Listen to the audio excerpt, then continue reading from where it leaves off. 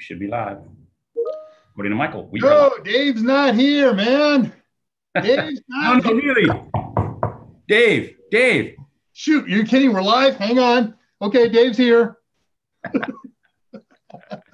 Uh, never stops being funny, Dave. You know, it's the nice thing about being me is I constantly amuse myself. Nobody else buys into it, but I'm there. hey, good Friday, everybody. It's Friday Pi Day or dramas. And with Dave Rush, Ask Me Anything, and Scott, dramas, dramas. Drama plus S. I don't know how to pronounce it. Hey, there's only a few people here, so I'm going to hold this off, but I'm going to give you guys a heads up right now. We have a huge announcement coming today. Call your friends, call your neighbors, email everybody you know from the feed. They need to know what's cooking today. But in the meantime, hi, Scott. Hi, Dave. How are you? I am well. How about yourself? Doing great. You ready for a good three day weekend? I, you mean so that I can tackle all the projects that I don't get finished during the week? Exactly. the whole COVID thing means okay, that's just another day to work from home as if we were going away, anyways. Exactly. Hope all you guys who are celebrating a, uh, a holiday this coming Monday have a, a good weekend plan and stay home or travel safely. Do whatever you're going to do. What I would do if I were you is I would have received my pie by Saturday and start projecting. You've got an entire Monday. Tell the family to leave you alone and start cooking at it. Oh, Tullowit, you're such a card. Yeah, thank goodness. Free pie. well, no, the announcement is not a free pie. It's no free pie.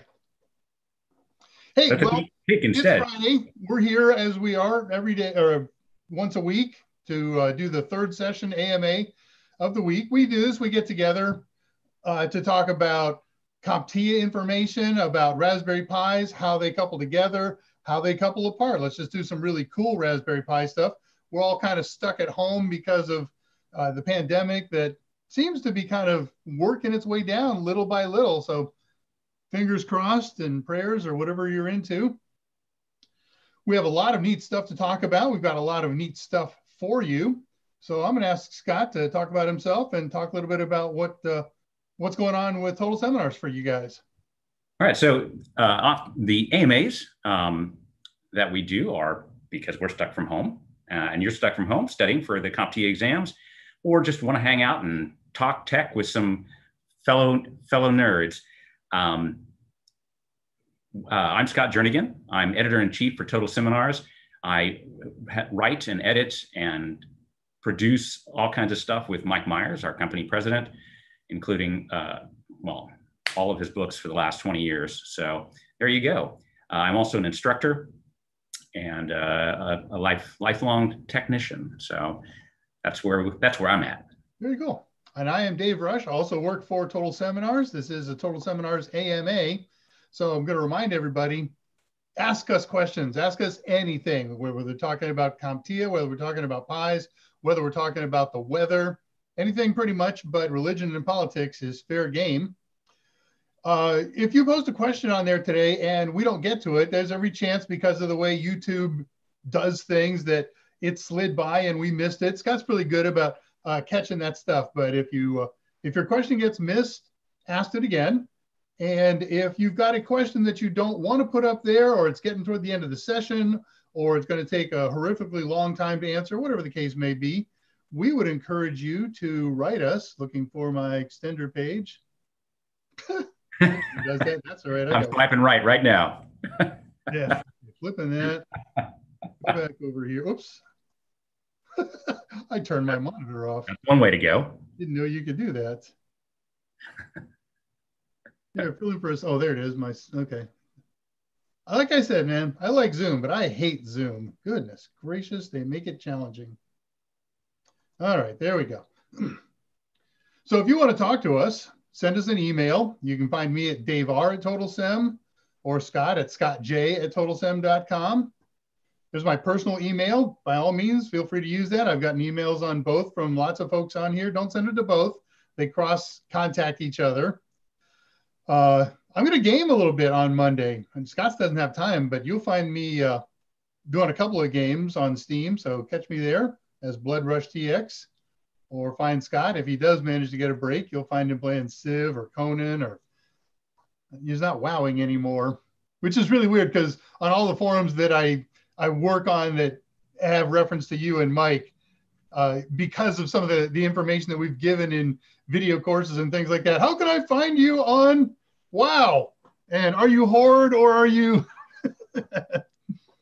if you have this desperate need to speak with us face to face, you can try. Give this number a call 281 922 4166. Nobody's there at the office to man those, but they are forwarded uh, to our people, real people. It's not an answering service or anything like that. Well, not unless it's the middle of the night. Uh, and if you convince them, they will find a way to get you in touch with us. But otherwise, emails are the quickest and bestest for long answer stuff. And for short answer, uh, throw a question up here in chat. You know that. Senior Scott, tell yeah. them what we can do for them. So, just because you're here in the AMA, we have a special deal for this week that runs through Monday uh, or through Sunday, I should say uh, that 50% off all of our A plus and Network Plus super bundles. Those are the videos plus practice tests plus simulations. So that's for A plus and Net Plus and uh, the Security Plus video and, t- and total tester bundle. Just use the code MMLive831 at checkout at totalsem.com. Uh, this is a great deal, folks. Um, and it, almost for sure it will change coming Monday. So if you have a need for any of this stuff, I would jump on it. Very good. Thank you, Scott. Yeah, you're welcome. Oh, let's see what's happening in Uncle Notes. Man, I've had a lot of fun. Uh, I had this thing in mind for us. We got two things to do today, and they're going to be really quick things. And I don't, I don't think we get enough questions to pull through the whole four hours. So it's kind of trying to, to build a little bit of a, a good, interesting fill in thing. And I found something that was so cool. Uh, and, and I've had it on my notes and my uh, outlines for days. And I looked at it last night when I was doing final prep.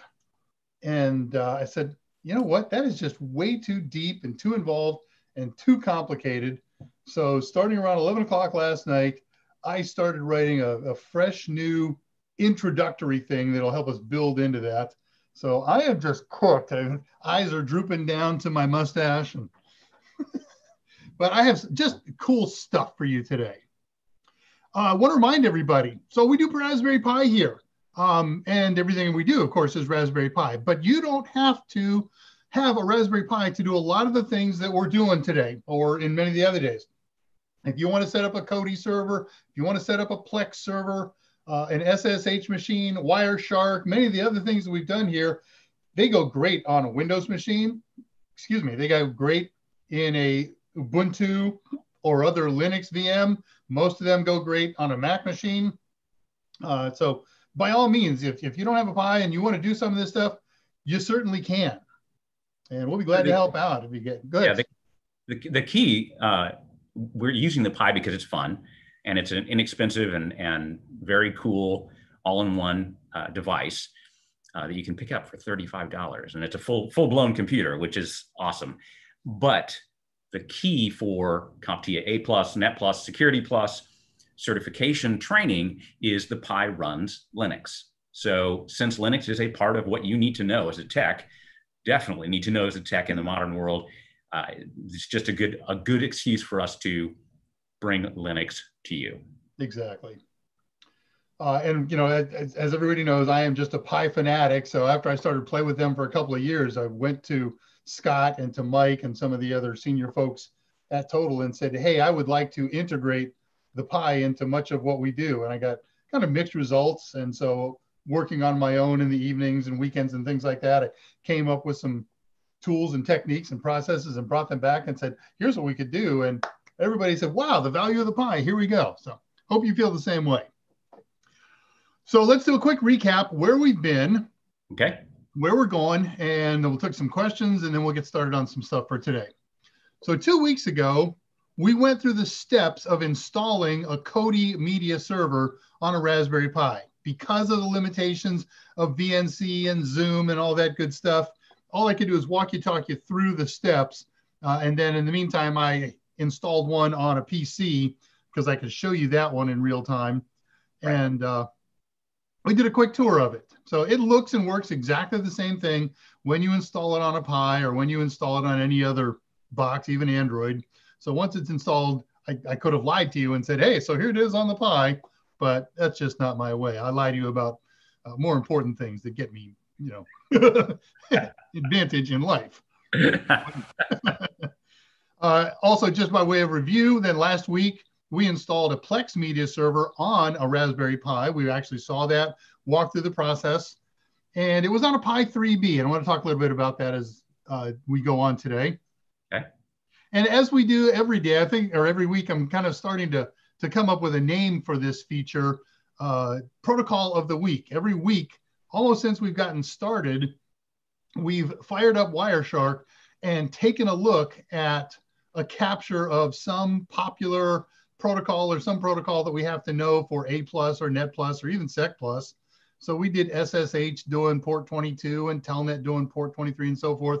Uh, last week, we took a, a look at an attempt to do a live capture of a DHCP request and assignment. Doesn't work well in my network configuration, but that was cool because then we learned that we could download capture and saved files that other people have done so those are called PCAP files, and you can get them from wiki.wireshark.org. So I'm going to do that again today. We're going to try and do a capture of some process, and if it gags, I think it's going to go fine. Then I got a PCAP file ready to go. All right. So that's Sounds where great. we've been. All right. Where we're going. In keeping with our record of protocol of the week, we're going to look at DNS today and be thinking about what that port number is uh, the DNS protocol uses, which port, and maybe even go nuts and find out if it's uh, UDP or TCP if you don't know off the top of your head. You will not need to know that for the exams. They ask about port numbers. They don't ask about if it's a TCP or UDP. After we get done with that, I want to do a little bit deeper tour of the Plex server. I want to show you a couple things that I've learned this week about Plex. And then, of course, the big, big feature for today is integrating Plex and Kodi. And I think that's all going to go amazingly fast. I have more to say than there is to do. We could do the whole thing in under a minute. Uh, that would be very fast. Take a little bit, yeah, so thanks. Uh, if that all goes so fast and we got a lot of time to kill, I'm going to start probably a three-part series today uh, bash scripting. So we'll do an introduction of bash scripting. If it doesn't happen today, we start it again next week. Okay, sounds good. So what's going on on the feed? Let's check in. Hail, hail, gang's all here. That's right. Greg Davis, first person in. Excellent. and proudly says so. That's right. I like that. I, I love the contest of being first in or last out or whatever. Yeah, I, I, I confess I'm usually last out. Yeah. I'm seeing the little the little feed things even well after four o'clock. And and exactly, you got to capture notes and be ready to answer questions when we start up again. Just for clarification, when Dave dropped the four hour bomb, we're only going to run two hours. So just yeah. Did I say four hours? wow. Yeah, you said four, and we were all like, yeah, I don't. It's it ain't gonna be four for me. We'll do that still ending thing. I'll just hold the smile and. That's right. For two hours our awkward ending. Whereas Andy STL put it, uh, condensed to two hours. Yeah, I like that. oh, well, if you play it at double speed, it's only two hours. Yeah. so Brendan S is here. Yeah. Hello, Brendan. Mike Myers. no, we're actually very happy that Mike is is back. Uh, Man. Uh, so those of you who, yeah, I think you all know who Mike Myers is uh, company company president, author of uh, a zillion uh, best-selling certification titles. Um, he took the entire month of August off and tried desperately and failed to uh, log in from wherever he was. He ended up being in these. Who knew that in the middle of Yellowstone National Park, up in wherever it is, Montana. Where is Yellowstone?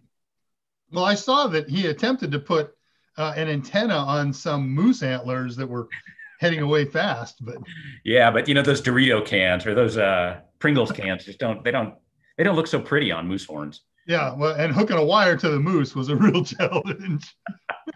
you get chasing him around with his laptop. Yeah, if it's just not.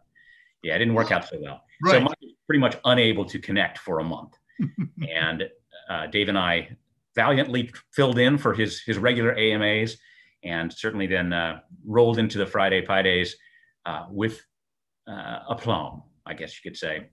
And that was something I wanted to mention. Uh, we talked with Mike this morning. We do, you know, as we do every day with these uh, morning meetings and things like that on Zoom.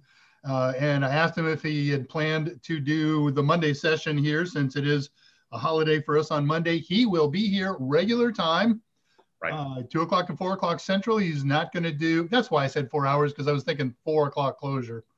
Uh, Mike will be here two to four on Monday. He's not doing a feature presentation. It's just wide open questions. So load up on questions. Somebody said last on the Wednesday show, thank God you're back, Mike. I got 12 questions in the magazine for you.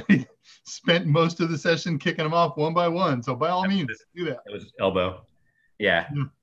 Oh, thank you, Andre, for the clarification. Uh, Yellowstone is is yes, it's in Montana, but it's also in Wyoming and it's in Idaho. So it's one big place. All I know is in Hanna Barbera, it's Jellystone and. hey, boo boo.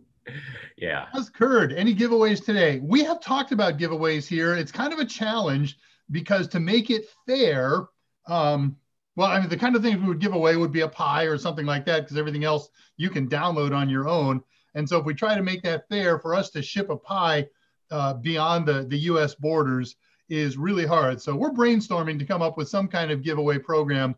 Uh, and you know what? I'm going to, uh, with our big announcement, I will talk to uh, the people involved in that, maybe they can do something with us. That would be fun.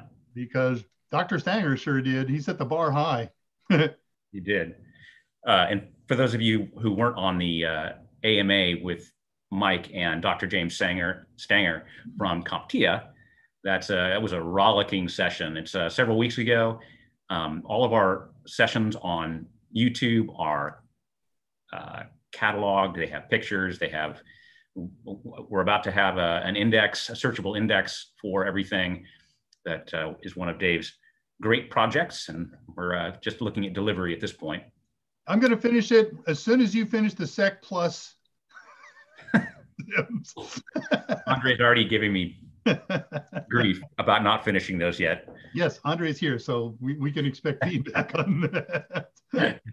so, and, and for the record, I'm working on the Security Plus simulations that will go along with the A plus and Net plus simulations to help you uh, prepare for the performance-based questions on the CompTIA exams.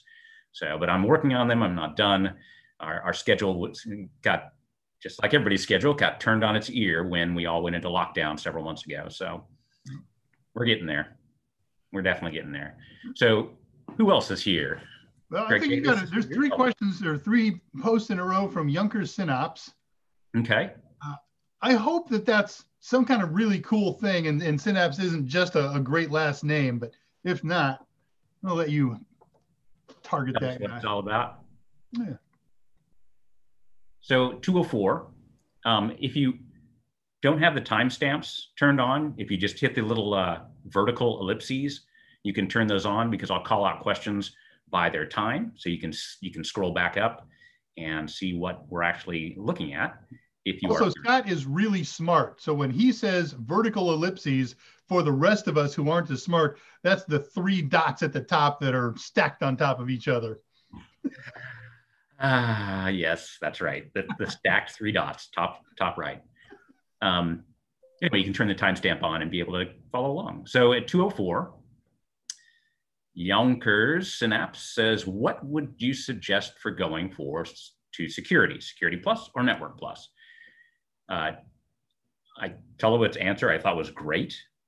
That's what I got um, highlighted. Yeah. Uh, so the, the usual the usual process for getting Security Plus certified, you can you can just okay if you are going into security because that's not that's what you asked, not getting Security Plus certified. The usual way uh, is to get Network Plus certified, or at least go through the training for it, and then get Security Plus certified. That's kind of the foundational uh, networking and security information that you need to be able to layer on top of that any specialized security training. Like, so if you want to be a security administrator, for example, uh, going into CYSA Plus, which is also a CompTIA exam, you want to be a pen tester, where you're wearing a white hat and you're testing people's networks to protect them from bad guys. Uh, pen test plus uh, is a good is a good direction after security plus. You can also then jump into non-security, non-CompTIA certifications, such as certified ethical hacker. Um, and there's a ton. At the top of the food chain is CISSP. That has a several years work requirement on top of on top of the certification or as part of the certification so you can't just get it you need to actually be in the field for several years and and then be able to say yeah i've got the experience i can i can make the, do this test and that's that's the top of the game but start with it, network plus then security plus if you are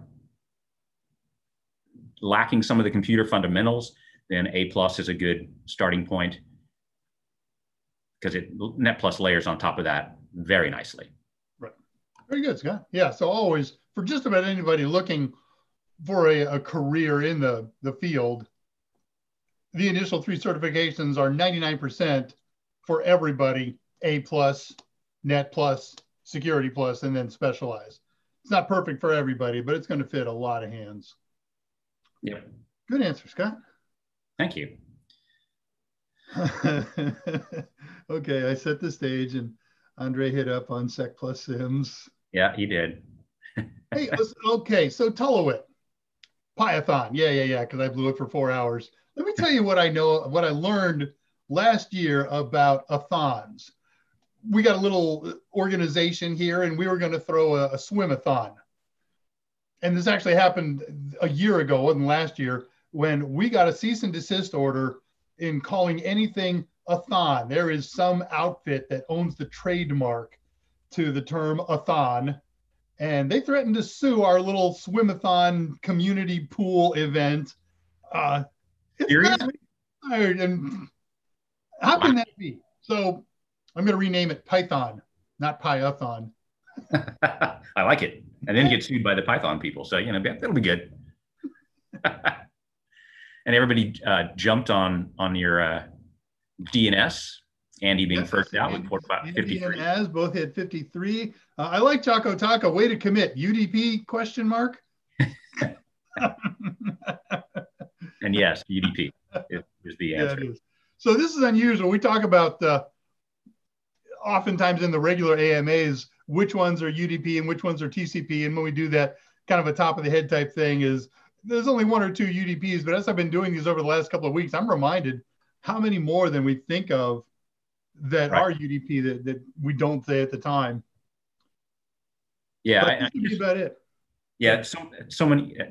I've actually seen in print things like UDP isn't really used that much. Mainly connection oriented TCP. That's what's used. I'm like, yeah, just leave DNS out.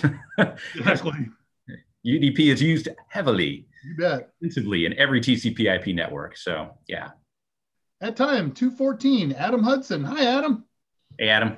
I started the journey of A plus certification. I've been wondering what to do after and be able, I'm looking for a follow-up. To land a position. Land a position. There we go.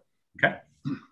Go ahead. So, yeah, I mean, Scott's pretty much kind of laid down the groundwork. Um, a plus will move a resume higher up in the stack to get interviews than not having A plus. Whether or not it will get you the job or get you the interview is a, a function of a large number of variables. What your other skill sets are, what's the competition got, where are you located, uh, what's the market forces there. So maybe you can, and, and certainly you should, start job hunting as you approach completion. Don't wait to finish because you want to get on with somebody. You say, look, I've got some inf- knowledge and I want to learn more. I want to learn hands on with you.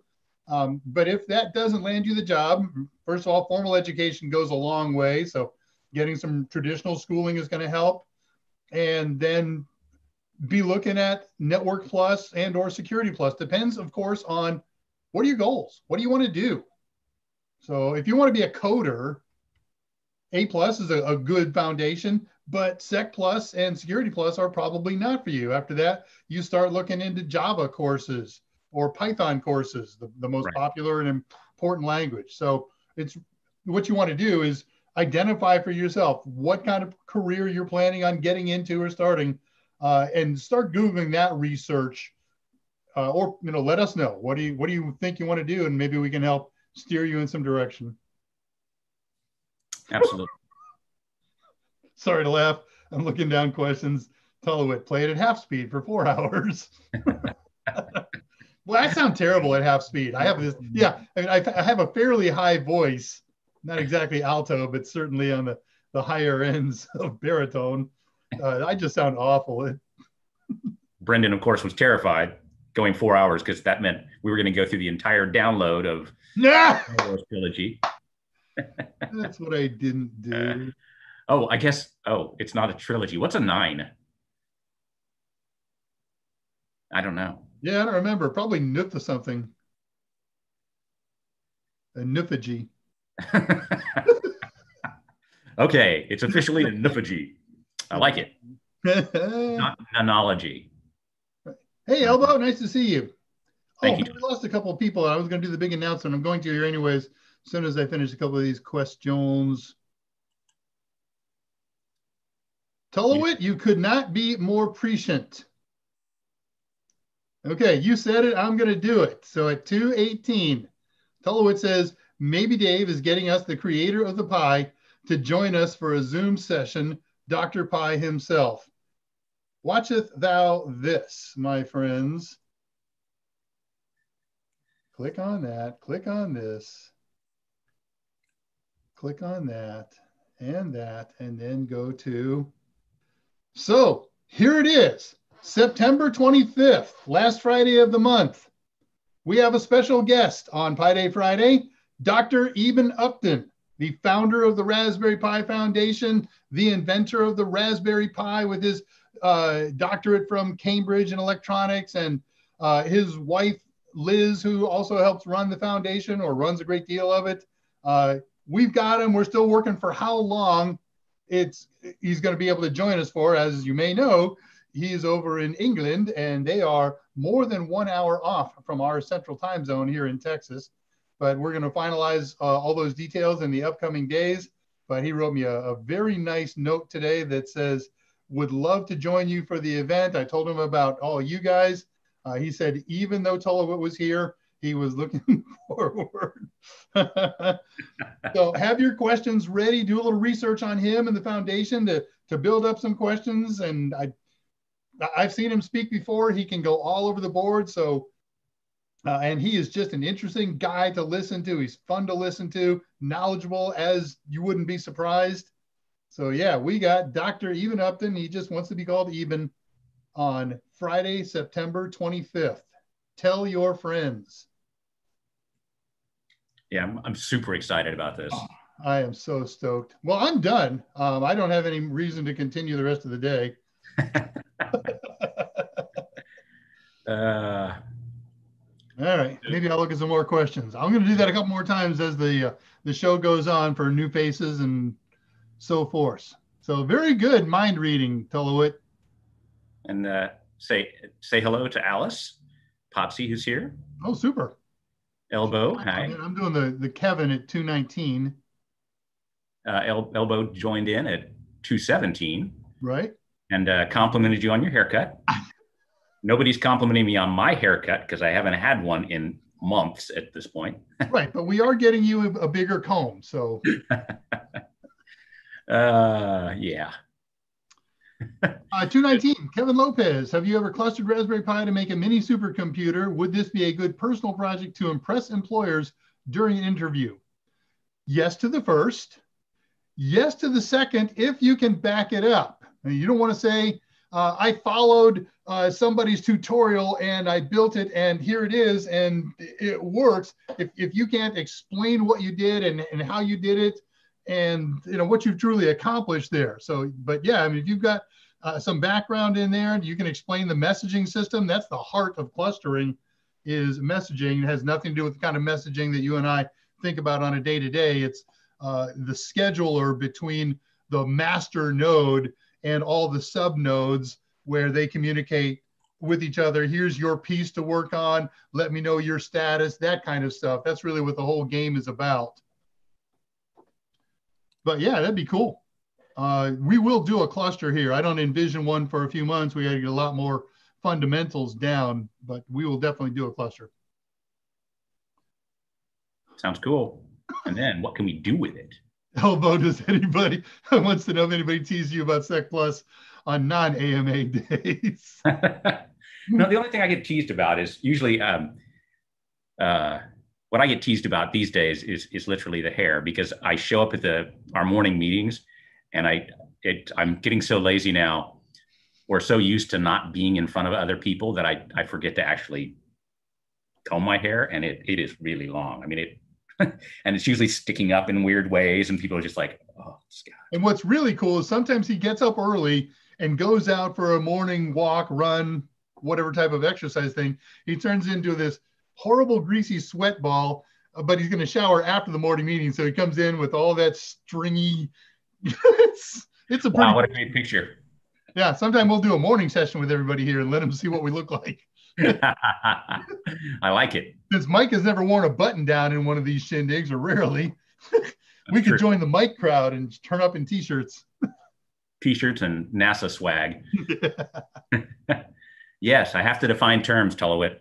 And Greg at 220. Excellent. John Lehman, welcome back. Nice to see you. I mentioned getting an interview over a week ago, mostly in thanks to your Network Plus resources as well. You got it. Fantastic. I got it. I was going to be exciting. Onto the Cyber Ready course from CompTIA themselves. That's wonderful. Congratulations. Um, we get 10% of your first year salary if you use our resources. So that's PO Box. Wonderful news. Fantastic. Thank you. Uh, yeah, that's that's great. And going from construction to tech. Mm-hmm. That's a nice jump. Right. You'll be spending six months learning CompTIA Sec Plus and CISA, exams included. Man, that's the the Mike panacea dream. Get a job, get a job with somebody who will train you, get a job with somebody who will pay for your certs. You that's the trifecta.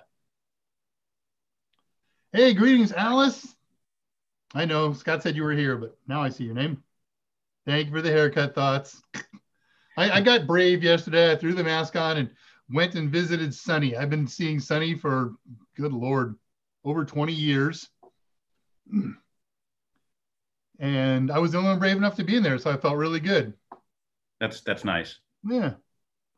Yeah, I told the, the wife I was I was heading up there, and if there was anybody in there, I was coming right home. But Elbow, quick question. What components should be put in the motherboard when you build outside before mounting the case? Just CPU and RAM? Yeah, that's all I ever do. Um, and of course, the CPU cooler, especially if it's uh, an extended and oversized cooler, or something like that. Um, you know, because what what else are you going to put in there? Everything else is wires. Um, so you know, arguably you could put power supply wires, but that's not practical uh, same thing, I guess, if you wanted to put, you know, SATA cables on the motherboard, but they're not in the way. It's not a big deal. So CPU and RAM are, are the two standard items. Anything you'd put in, Scott? Yeah, see, I'm, I'm going to disagree um, okay. because I, How do I, I turn I, your video and audio off? Say what? How do I turn your? Can't do that, Dave. Okay. um, I, I build all of my all of my systems outside the case. Um, even before I got, and I, I'm, the thing is connected. Otherwise, I'd grab my bench tech station, which I actually have a inside out case now that is my my uh, workstation, my Linux workstation. Um, but even before that, just on a straight up on a mat, I would build the take the motherboard, CPU, cooler, RAM, pop in the M.2 drive, because it's so much easier to do that stuff when it's outside the case. I wasn't thinking that too. You're right you know, about that. Connect. I connect the power. I I connect the keyboard and mouse. I if so many motherboards have built-in video that I don't necessarily worry about putting in a, a high-end GPU to start. Uh, but if it doesn't have built-in video, then of course you have to put the GPU in. Um, and then you connect your power supply and boot it up. I mean, okay, we might be talking about two different things here, Scott. I, it sounds like you're talking about uh, building it completely for the sake of testing. The way I understood his question is the way that, that Mike talks about it in the A plus video that says, if I'm going to case it up, what can I do to the Mobo ahead of time before I lift it into the case? Then, oh, okay, certainly then. Uh, so then the only thing I would add is the M.2 drive. Yeah. And I got an ad from uh,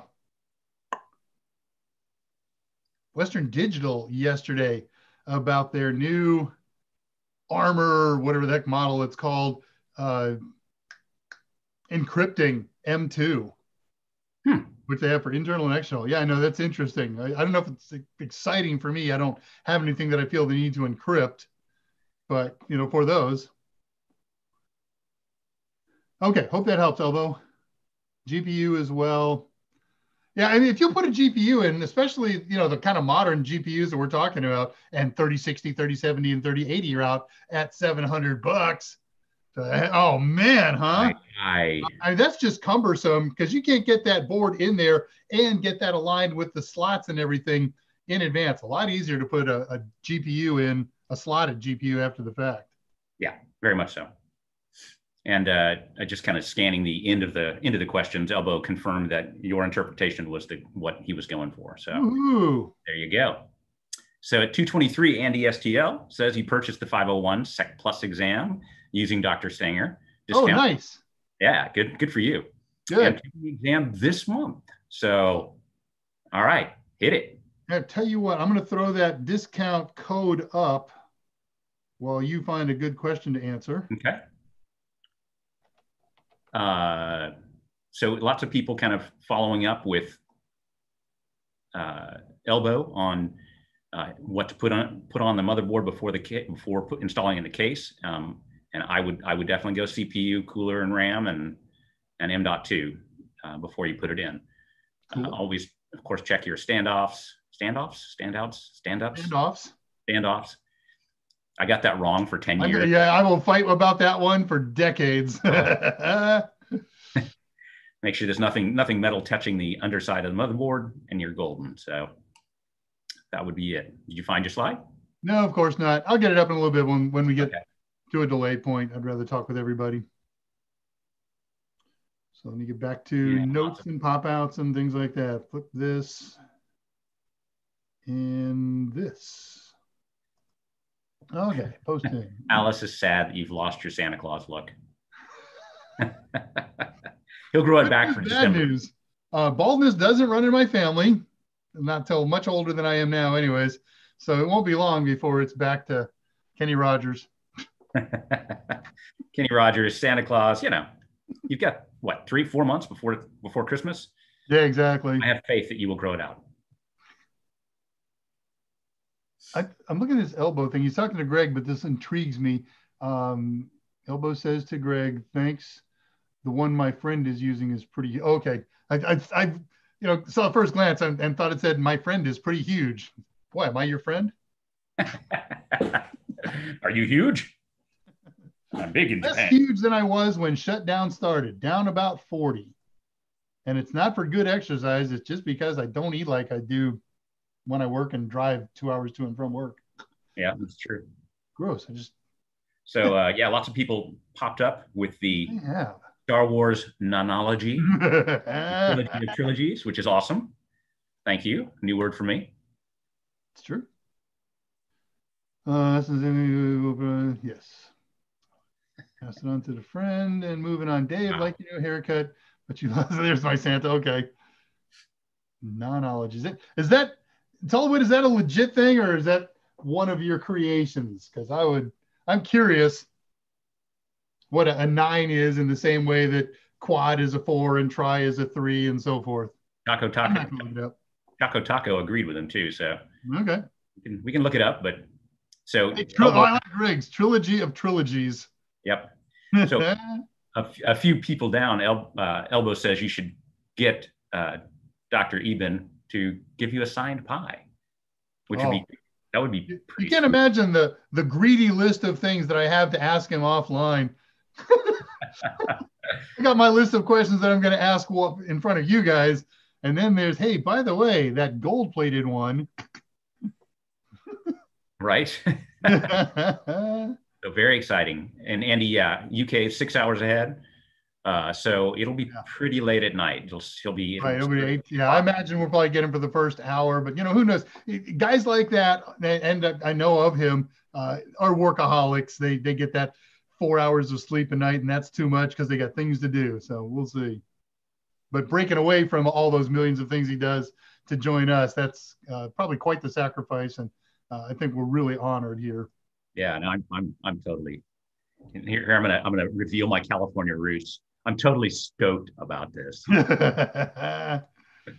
Oh, you can't believe it. I I was doing something and my phone dinged that said I got an email and it said Eben Upton. I was like, I can't look at this. I've, I've got to sit down at my desk and read it in case I fall. And it, and it was a heartbreaker because the first sentence, I would love to join you for your Pi, but, and I was crushed. And then it was, we have to do it on this date instead of that date because of commitments. Sweet. Have I seen the drunk Jeff Goldblum Apple ads? I have not, and I am a real Jeff Goldblum fan. So, so we'll put it on the we'll put it on the list and YouTube it after after the show. oh no, you, are you crazy? We download it, we put it into the movies library of Plex, and then we show it. Okay, why not? Right, We can do get that. on my little notepad here and save that because I'm terrible about remembering things I said I'm going to do after the show. But now I've remembered it. Oh, I, YouTube scrolling. Ah, I'm at 229. yeah, I'm back. Okay. Yeah, way to go, Alice. Hashtag me too. Yeah, right. I know. I'm excited. So at Mhm. 231, Andy asks, would an external hard drive need to be formatted with Raspberry OS to use as storage for a Pi 4 media server? External drive. No, uh, he says. So, That was a really hesitant no. well, it, it, it- the, all the usual variables here. If you're not booting off of it, it doesn't need to be an ext4 file system. The boot drive has to be a FAT32 or FAT64. It doesn't have to be very big. There's a handful of boot files on there, and then it moves over into the ext4 world for the usual Linux standard file structures. Now, Okay. for building anything else that you want to access or to have others access, you can do that on the ext4 system or on a FAT external drive or even an NTFS. Nate, that takes a little magic, and I wouldn't do it with that. But no, it does not have to be uh, a Linux file system. In fact, if you're going to do, well, no, there is no in fact there. It simply doesn't have to be. Use the one that you're happiest with. Right. I would personally do ext4 to manage consistent security across the pair, even if I were doing something like a Samba share. But do what you're comfortable. Yep, absolutely. Uh, Everybody is into your hair too. I'm back, back to back in morning meetings this week, uh, my two bosses, Dudley Lehmer, who's the CEO of the company, and then Mike Myers, president of the company. Mike wasn't even in town. And the first thing Dudley says to me in the morning is like, we're gonna we're gonna come up with a fund for get Scott a comb. Get Scott a comb fund. And we're all like, ha ha ha, yeah, okay, that's funny, funny, whatever. The next day, Mike shows up for our morning meeting and he goes, Wow, okay, we need to start a, a GoFundMe or something for Scott to get a comb. And we're like, What? Come on, man. I use brushes. so at 232, David Zintara, and I'm I- Zintara? Zintara? I'm- yeah, we've we've done them before. Hi, David. Yeah. Uh, completely threw me for a loop because yeah, absolutely. A Beowulf cluster, 100 white box PCs. Now you can do the same thing with a, a Raspberry Pi. I'm in the middle of rereading like one of the best space opera uh, science fiction series ever, based on a character named Honor Harrington, and it's uh, uh, what's the what's the Horatio Hornblower, right? The, yeah. The Wet Navy, all the adventure books and stuff. So right. uh, David Weber, the author, has created this series kind of loosely based on that, but okay. in space and deep space. And one of the clusters uh, and uh, one of the places is the Beowulf cluster. And I was like, wow, oh! you're reading the Harrington books too? Right. What like, a reference. Click, click. Oh, right. Never mind. right. And Beowulf clusters are still the approach, though it's not the exclusive approach that it was 20 years ago. 234, Brendan. Is there a way to share a folder over home network without home groups? Been trying to share a folder on my PC to other PCs in my home. It's been a pain. Uh, it should be insanely easy. We don't need home groups. All we need to do is create a folder. And if you're talking about sharing it in your home, uh, use simple shares. Uh, Mike did a presentation on that in AMA. I've got it documented. I won't be able to, to find it here, but you're a regular. Uh, I will have that answer for Mike ready to post, or I'll stick it in the chat on Monday, uh, which episode he did that in. But in the meantime, uh, if you're just looking for a quicker answer over the weekend, uh, just look up simple share Windows, I assume Windows 10. And uh, that's what you want to do. Simple, a simple share, not an NTFS share. Right. But, and you, uh, you might also be running into permissions things. So you need, to, you, you would have to have uh, accounts set up if you're just in a work group? Well, that's what I'm thinking. If you do a simple and you apply the, the simple uh, access rules to the everyone group, right? You don't even need an account because it's everyone. Right. We'll, we'll get that info, info for you, Brandon. Brendan. Sorry. I said it right the first time. You did. You did. I can't. So in case in case it wasn't really obvious to all of you, I can't help myself, right? I've been an editor for so long that I just correct things. I'm one of those annoying people. Okay. It's why I, I accepted the job because I need correcting and my wife's not up to it anymore.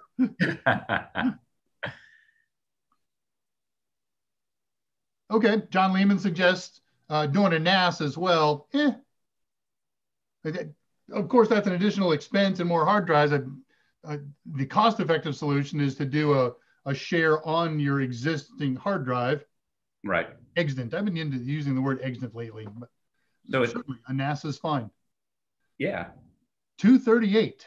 Kevin Lopez, if you want to practice hacking on Raspberry Pi, do you need Kali Linux or can you use the Raspberry Pi OS? Yes and yes. So there's a dedicated version of Kali that's all ready for Raspberry Pi uh, and you can install all of the Kali utilities uh, on Raspberry Pi OS. Easiest thing, of course, is Kali. I was thinking about that today. I'm, I'm chewing on ideas for things we're going to do in the future.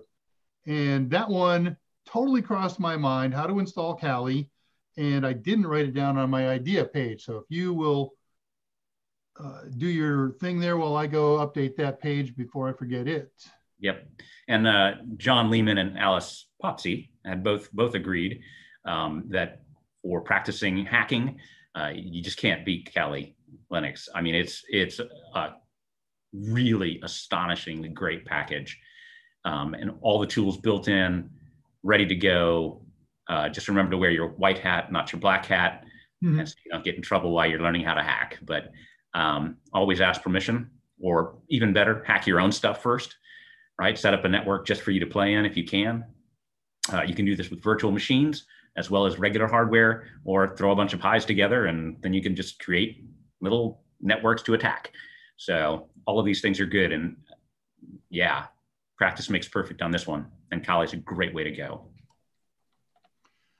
Cool. All right, I've got my notes for future ideas updated getting near the end. I'm glad, so we can get started on some other stuff. Yep. Tolowit is reminding me at 241 of the. Uh, I really did, man. I, I, I grew up in Pacific Beach, in Southern California, which is a, a part of San Diego. Tolowit laughs at you as he looks out on the beach in Hawaii. I know, I know. but yeah, until I was 15, and I was right there, surfer boy, the whole thing. And yeah, that language every once in a while it slips out because it's so deep in my in my core. But what's, what's weird, Tolowit, is in the office he still uses the word tubular. totally tubular, dude. 244, Tolowit says, Oh, you're welcome, Andy. Uh, I wonder if anyone has brought a Pi to the ISS, two of them. It's probably more powerful than the computers on the original spacecrafts. Of course it is. Your uh, the the calculator that you used in sixth grade was more powerful than the computers that they used and you know define power and then you can bring Mike Myers into this discussion and there goes four hours uh, but yes there are a pair of Pis that are on the iss definitely ask uh, Eben about those.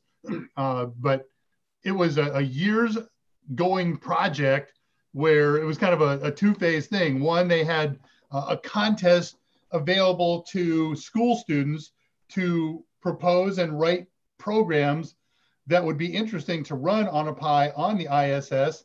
And then on the other side was the hardware aspect where they had to get this thing, these things tested and blessed so that they would be allowed to operate on the ISS and plug into ISS power systems and a huge, huge and expensive process to go through all that. But yeah, they're up there. And cool. the contest continues every year. There's there's dozens and dozens of experiments that they run every year, and it's really cool because they don't ship the code up on any of the the supply shuttles. That's done over the uh, the occasional intranet links that they use by radio frequency. So they get uploaded over their little RF IP link. It's very cool. Huh. Nice and it gets scanned before it goes up and it gets scanned after it goes up and i think they scan it after it's done running i'll bet mm-hmm. yeah because uh, they can't afford to make any mistakes yeah still That's waiting to hear about the leak that appeared last weekend uh, okay kevin's checking in and thanking everybody just ordered an 8 gig ram uh, elbow was that you who emailed me this week that i tried to talk out of an 8 gig and you tough bananas. I get the best one I can. So I'm with you. You you beat me to an eight gig, and so does Kevin. That's exciting. Yeah, it is. Gonna be. You can make a virtual machine. There's a couple different virtual machine projects that could be done. QEMU is one of them, and uh, I was going through my notes this week, and I forgot there's a there are two others that are very popular. So we'll get on that. Yes, absolutely, Alice. We will do an AMA about Pi clustering. I'm going to hold that. It's going to be a couple of at least two months, maybe a little more, because we got to get some hardware under our belt. Uh, not much, uh, but some more foundational stuff. And last one from Tolowit, and then I'm going to switch back to my outline. I want to see if I can hook up a Pi to my car's diagnostic port. You will need an OBD2 uh, scanner, and then it has to go into the USB port of your Pi and they make those and there is code out there to run them but i haven't played in that arena i've never actually plugged in a regular obd2 scanner into any of my cars why not here just because there's professionals and they know how to do this i can put air in my tires yeah well that's two steps above me okay let's take a look at some notes then talk about some cool things okay sounds good and uh, while dave is looking or looking at his notes and um, running running through his presentation. If you guys have other questions for us, they don't have to be about the Raspberry Pi or Linux. They can be about anything. Both Dave and I have been in the field for a very long time and have played with all kinds of computers and hardware and networks and security stuff. And um, we between us between us we can come close to having Mike's knowledge. But you know, we're uh, we're not we're not slouches. So ask us some questions. Slick. I want to share a story, okay. quasi related to everything we do here. Uh, some of you heard a little bit about this when uh, Scott and I subbed on, on Monday earlier this week, and then Mike started up again on Wednesday. Uh, but not all of our Pi heads were there. So uh, last Saturday, Micro Center, we have one in, in Houston, there's one in most of the major cities in the US. And this was unusual. They did this one uh, in that you could order online. Usually, uh, when Micro Center has a sale on Raspberry Pis, it's in store only. But they had a good sale last Saturday. Um, so I went down and I bought two more Pi 4s with two gigs and a four gig model. And the price was really, really good. And I'm not going to sell you on that. Now, remember last Friday, we did a Plex server installation on a 3B and it was okay. The, the installation went fine and the view of the thing went fine. And I thought, well, what happens if we put this on a four? Well, why do we want to put it on the four? What do you get from the four, 4B, that you don't get on the 3B? It's a pretty good list. I always like to think it's a little bit better, but it's got a faster CPU, a little bit, couple hundred megahertz. It's got twice the RAM of a 3B. It's got dual HDMI outputs. It's got gigabit Ethernet. That helps a any kind of installation where you have to pull down large amounts of data. And I want to sidetrack on this one. Uh, we went through and install where we had to download a backup image of Chrome of Chrome. One more time, Chrome OS for a tablet so that we could extract some stuff out of there and make our Chromium browser work. And that took 15 minutes on the 3B. It took two and a half minutes on the, the 4B. And the difference, I think, was primarily because of the high speed gigabit link. So we got gigabit, uh, 3B and everything previous to that only had 100 megabits. Uh, there's a full 64 bit operating system, Raspberry Pi OS. When you load it on any Pi, looks at the CPU and says, should I load 32 bit? Should I load 64 bit? So I got all that. And all I did was take one of the micro SD cards that I'd used to do my experimenting and development for Plex install, and I popped it into this Pi 4. And it booted up way faster than the 3B, booted yeah. up the 64 bit OS, and then I loaded Chromium, and it came up 47 times faster than Chromium on 3B. And then I fired up Plex, and that loaded up and everything was just better. And then when I started playing the movies, what I thought was fine on the 3B uh, turned out was relatively speaking terrible. And doing it on the four was like watching television. And what, one of the experiments that I did was I used an HDMI connector to an HDMI monitor and simultaneously fed it through the VNC remote connection to watch the two things happen simultaneously. And it was so jumpy, not horribly, unwatchably so, but it was very jumpy on the remote connection and so smooth and so wonderful. So when we do VNC today, uh, again, it might be a little less than smooth looking. Don't be discouraged when you hook it up live to an HDMI monitor. It's just nothing but good. So uh, let's give them let's give them the the the specs a little bit, um, or more pre- more precisely, because you can still buy a 3B or a 4B, right? Right now. Mm-hmm. So the difference is is what? Well, I don't have the numbers off the top of my head, other than price. Let's do one by one. Uh, 1.5 gigahertz on 3B, I think, for the CPU, and closer to 1.8 on the 4. One gig of RAM on the 3B, two gigs or four gigs or eight gigs on the four. And you can get a one gig model too. But since they're the same price, one gig and two gig, why wouldn't you get the two? And my guess is when they run out of ones in stock, we won't see any more of them. 32 uh, bit CPU in Pi 3B and previous, 64 bit in the later versions, and a supporting operating system. Uh, the, the gigabit Ethernet, of course, versus the 100 megabit. And while we haven't experimented with this yet or talked about it, in addition to the, the same 40 pin general purpose IO header, uh, there's a four pin power over Ethernet connector. You need a little adapter for that, but you can run Pi on PoE now. Now, they were folks who were kind of doing that aftermarket but now there's an official one from Raspberry Pi. And 3B, you can still get, and there's still great uses for it. We got a uh, next week, next Friday, we're doing Pi-hole, and I'm going to do that on a 3B because I don't need uh, the high video quality and frame rates and things like that. And it's a very low load type of application, even for as powerful as it is and for the cool things that it does. Uh, people run it all the time on a Pi Zero. So still a great place for those, and they're only 25 bucks, but it's only 35 bucks for the two gig 4Bs, and the sale on these ones was uh, 30 bucks. Uh, they had this cool deal. Like I wasn't gonna do this, but since I'm down the road now, uh, they'll only sell you one at 30 bucks when you go in, because they don't want resellers coming in and buying them in quantity. So if you buy one, it's 30 bucks. If you buy two, it's 40 bucks. If you buy more than two, it's 60 bucks. And so they just want don't want people scooping them up uh, right. or resellers to buy them. So my missus was kind enough to go down with me. Uh, so she bought one of the two gigs. I bought one of the two gigs. There was no limit on the four gigs. I guess that 45 bucks scared everybody away. so, so yeah, stuff. I mean the difference the difference is ten dollars.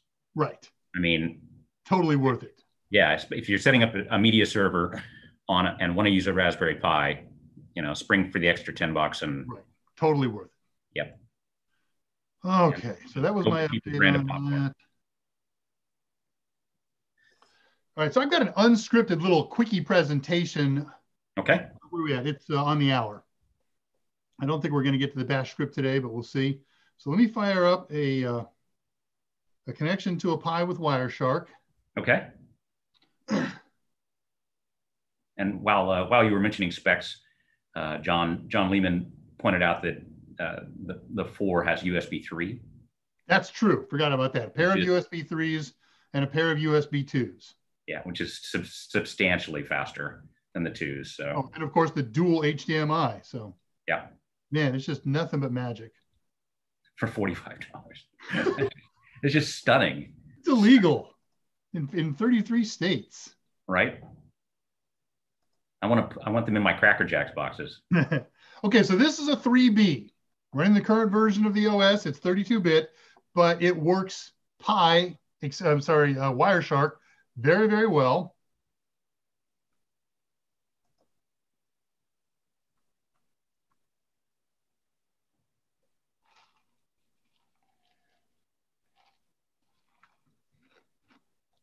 Buzzing along, coming to life.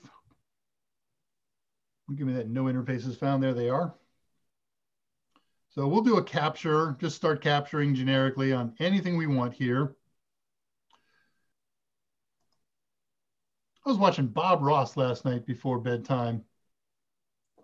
You can see he kind of went through phases of the television show. And last night he was just hilarious, whatever his old rerun was. Wife and I were cracking up at, at his presentation. Okay, so this is up and running. And what I'm going to do is I'm going to just open up any old Joe Schmo browser here. And I'm going to hit a website that this computer has never hit before. Not one that I can even think of I've ever been to before. So I'm just going to invent some place. oh, let me see. www.chillout.com. Let's see if such a place exists. Oh, please don't 404 me. I really want to want to hit one that works without having to dig. Yeah, go to cheese.com. You know, I think it's gone. Okay, there was something there. So that's all I need. So we'll go back to Wireshark and we'll stop capture. So remember, everybody, your computer, whatever computer you're running, Pi, Windows, Mac, fill in the blank, it doesn't understand how to contact a server called chillout.com or any other server. TCP/IP is a game of numbers, and he says I can't contact that thing unless I know its IP address. So here came the request from my browser down to the network layer, and the network layer said, "What's chillout.com? That means nothing to me. Let me stop, and I'm going to make a DNS call now. I'm going to call whatever is programmed into here to be my first preferred DNS server. I'm going to say, hey, do you know about a place called chillout.com? And if he does, he'll report back the IP address. And if he doesn't, he'll get me in contact with another DNS server that does, and on and on until uh, somebody finally resolves that number, sends it back to my computer, and then we can continue to build a packet. Yeah, a packet at the network layer. So let's go see if we can find that. I haven't done this experiment. I've done it on many machines. I did not do it on this machine. So here's hoping that it works. So all we're going to do is try and find it by port. Now let's check tcp.port equals, need a space there, and a space. 50. Are you going to show us? Three. Oh, I'm sorry. I thought it was, I, I forgot that I haven't shared. That's the other reason Scott's here, because I'm an idiot.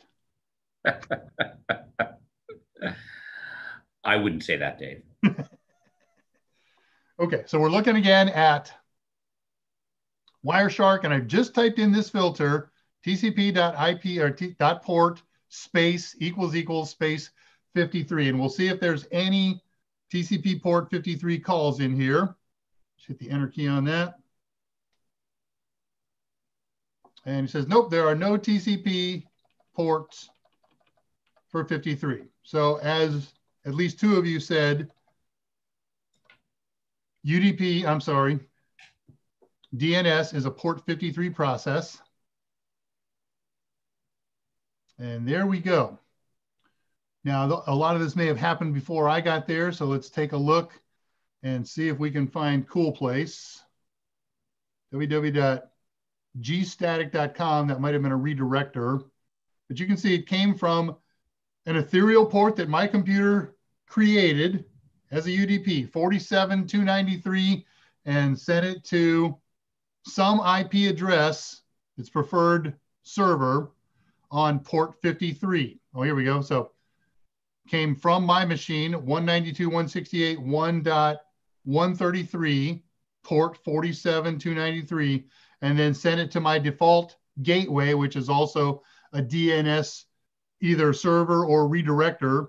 So, hey, 192.168.1.1, port 53, I have a query for you. And I'm going to query about this GST. So that may not have been uh, the one in question. Let's head down a little further. There's all kinds of stuff constantly going on. And there we go. There's chill out. And we could have added that as an and search in here. So same process from my computer, from the, uh, the Pi rather, and a different ethereal port to the DNS redirector to the DNS port 53. Hey, what do you know about chillout.com?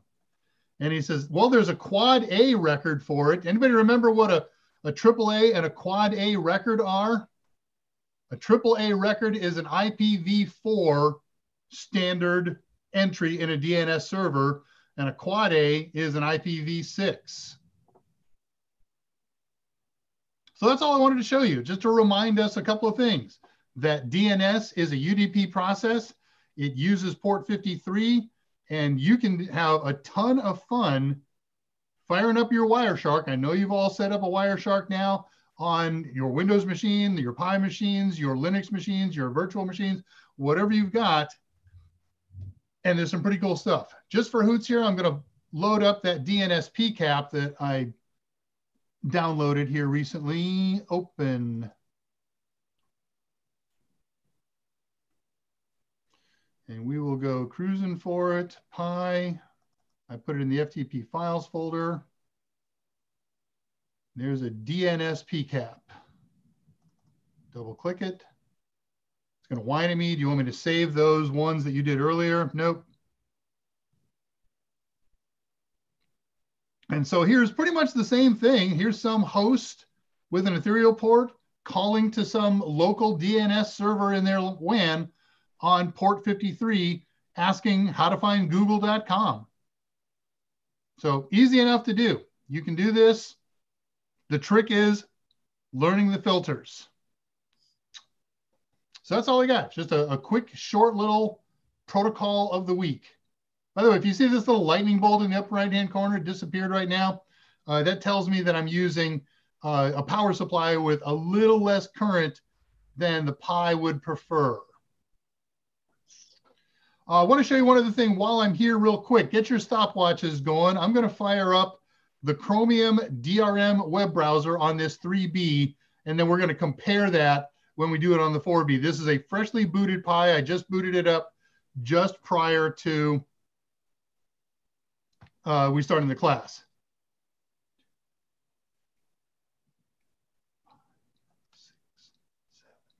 Okay, it took about seven seconds for Chromium to boot up. Now how long for the Plex server to boot up?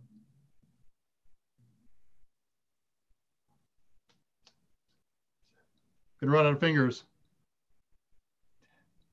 11, 12, 13, 14.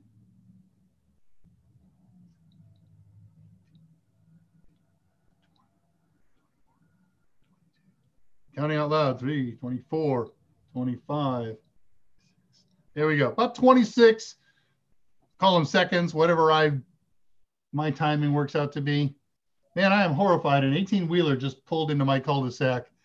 Terrified they're going to deliver something. oh, maybe it's a, a load of pies.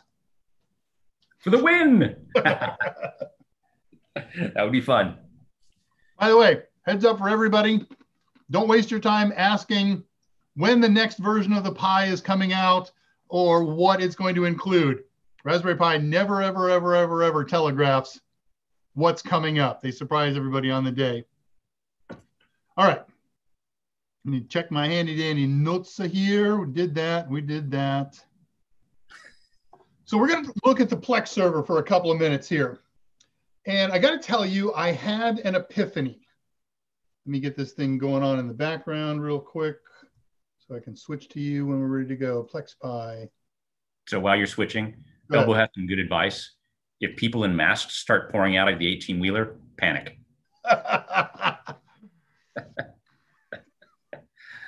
Uh, Fair enough. I got nothing. I got nothing to add to that. okay, so I had an epiphany, and when we started this project, how to play Kodi and how to play Plex and how to get them together, I had never done that. I was very upfront about that. I had no experience with Plex, and the integration of the two of them is something that I have uh, read and see lots of commentary about people doing, but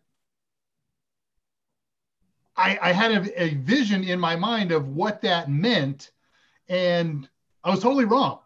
So maybe you have a vision in your mind, and maybe I even incorrectly kind of communicated my vision to you. So when I started really integrating it and playing with it, uh, I, I, think I probably was a little bit disappointed until I began to understand the whole point. So here's what I envisioned. I envisioned, first of all, that if you have a Plex server and you want to install movies into a library, you go to that library and you use some kind of a menu uh, and it uploads or goes where you say to get the movie from and downloads it or does whatever. Not the case. Uh, built within Plex is no tool to download a movie and save it into your library. What you have to do is manually copy it as a file into the library. So there's all kinds of different ways to do that. Um, what I've been doing this week is downloading legal things uh, to my PC and then using SCP to copy them over to the Pi. And for some creative reasons, it was easier for me then to go to the Pi and move them from where I was SCPing them to into the movies folder. So there's no really cool way to use Plex to perform that download. Now, that having been said, I've only played with Plex for a week. Maybe there's something there that I didn't find. Dave, Dave, down hard, pretty hard. Yes, Scott. Can you back up just uh, a hair and explain to us why you would want to use what seem to be competing media centers? Right. So we've talked combined. So we've talked a little bit about this in the past. They do appear to be competitive.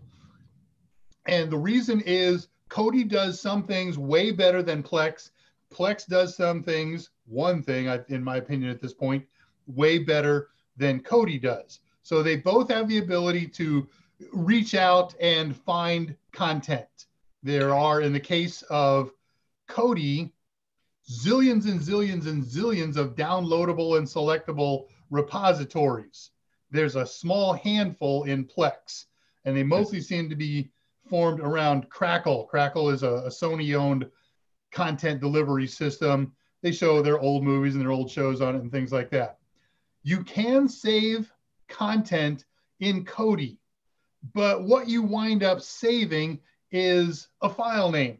And you put it in a repository and then you go search through it by the file name, or maybe it even puts up a, a poster on the file. Mm-hmm. But what Plex adds to the game is an incredible organizational structure built into its repository. So there are all kinds, I'm going to demo this in a second. There's all kinds of tabs and metadata that you can add to these. And therefore, uh, maybe I want to see all the movies that were ever directed by Robert Altman. Uh, that's not something that I can do well in the Kodi system, but I can in Plex. So that's what we're going to take advantage when we uh, join them together. Kodi is going to be able to use the file repository system to uh, access saved files that you store in Plex. Okay. So let's take a look at that. All right. Uh, it was 26 seconds to download the Chromium, Chromium DRM browser from a fresh boot. Oops, dang it, I started it without you. Three, four, five. Okay, the Chromium browser came up in five seconds. Now let me screen share that with you. The Chromium browser came up in 27 or in seven seconds on the other one. So a little improvement, not stunningly different. And now we've Plex server.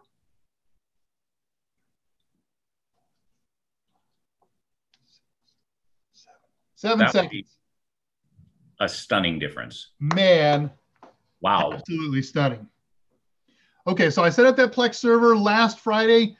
The only thing that I've done to it this week, as I've experimented, is to add movies into the repository. So there's no major magic that's going on in here. Uh, I did tell the Chromium browser to remember my name and password, so it's not prompting me for a password. That was something that wasn't working on the other one. Now we've set up last Friday a pair of Plex servers, one on one Pi and one on the other, and we'll be able to access them both. It doesn't really matter what you pick here. So I'm sitting on uh, Plex Pi, the 4B. I'll continue. It says, do you want to see all the usual categories uh, or would you not like to see some of those today? Nah, I want to see them all. So it always goes through that and calls it finishing setup. And then here's the trick to see your personal libraries. We click on that more and then we pick it. As I said, doesn't really matter here what you pick.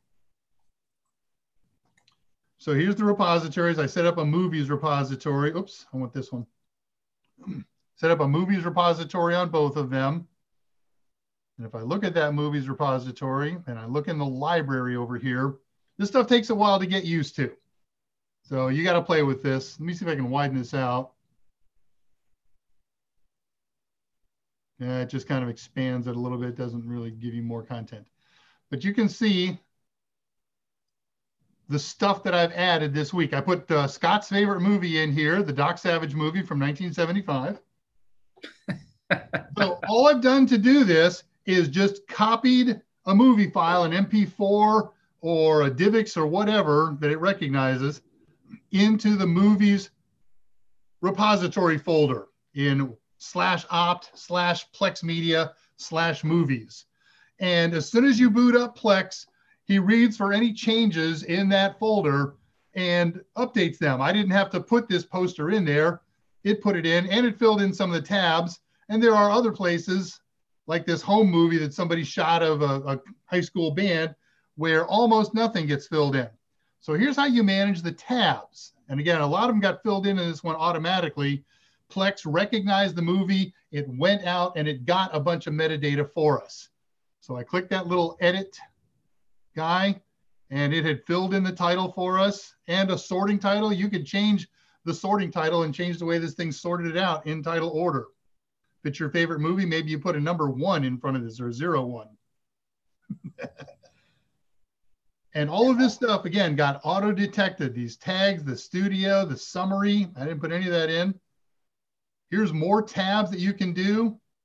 Director, what country it was shot in, genres, writers. So all of these are searchable through other menus in Plex. Show me all the comedy movies uh, that included the writer Lester Dent. Very, very popular writer. He was huge. Uh, and that was why they got him for uh, Doc Savage. I can't continue this with a straight face. He found a couple of, Plex found a couple of different background posters. Let's change one. Gonna move this up a little so bit. just for the record, sure. Dave is totally joking about Doc Savage being one my favorite movie and two any good whatsoever. So yeah. All right, you get the idea here. So I'm just going to save changes on that, and we should see the repository. There we go. So it's changed the, the poster on it. All right, so I got a repository repository on a Plex server. And by the way, of course, if you click this, it'll start to play. I'm not going to force anybody to suffer through that. Uh, I had something short in here. Uh, big buck bunny is 10 minutes. All right, I'm not going to go through that. You can explore this stuff at your will. Uh, I, you got to see what I wanted you to see the fact that content is editable for all kinds of sortable information. And in order to see your personally created repositories from the main menu, click the More option, select your which Pi you want to play on, and then, of course, we can create more than one repository here. We just made the one. Uh, all right, it doesn't matter if you keep this thing running or not because the Plex master server knows what's going on, but I'm going to leave that running because it doesn't hurt. So now let's go to Kodi. I have to run it on this Raspberry Pi that amazingly says Asus.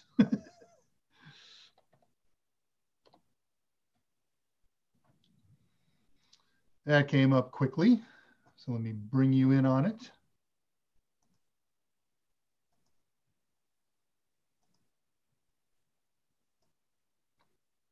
So there's the Kodi server, just like it would look on a Pi or any other box. And we're going to go up here to the settings and to add-ons.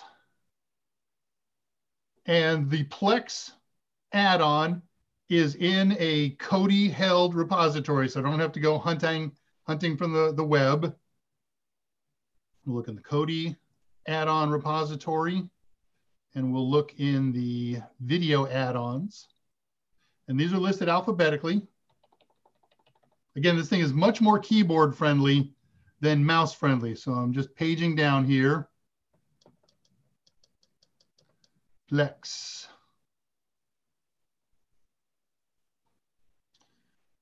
So nothing much to do here. It identifies dependencies. When you click install, the, for Plex, all the dependencies, that means add-on and support files are included in the repository. So I'm going to say install, and here's everything that's going to get installed.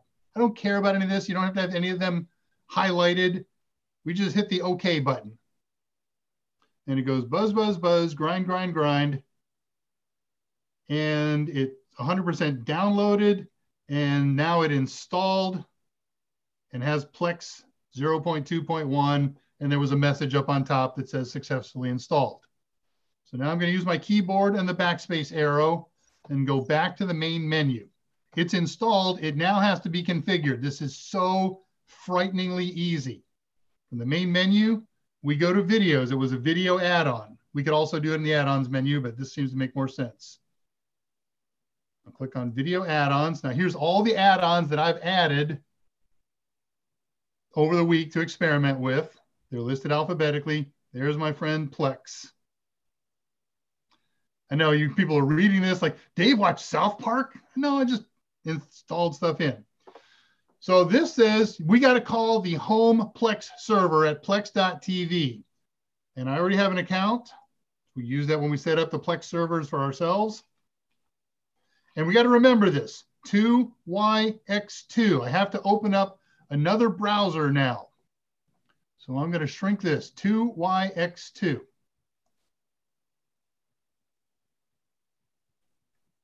Okay, that didn't make me happy. Stand by. Oh, okay. I see what I do here. Let's bring that back up. Let me stop sharing with you here for a second. Okay, the Kodi server is up and running. So now I just got to open up a little browser on the same machine that the Kodi machine is on. Okay. okay let me shrink this. I use the browser that I use to watch you guys on YouTube. Open up a tab. I'll show you this. All right, now we go back in the screen share again.